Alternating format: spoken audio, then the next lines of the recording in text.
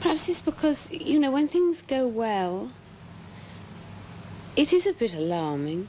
I, I sometimes think that I've had so much luck and so much good fortune that uh, it frightens me somehow.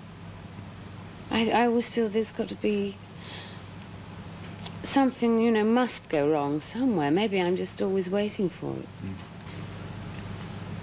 I have great admiration for, for, for, people who work only in the films because I think it's just a, a killing existence to, to work those hours. It's and it's also it's very isolating because you only only meet the people you're working with in the unit. You can't have any other kind of existence at all.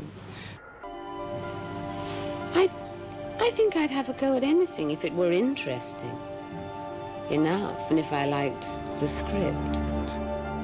I think on the whole people sort of really don't know who I am.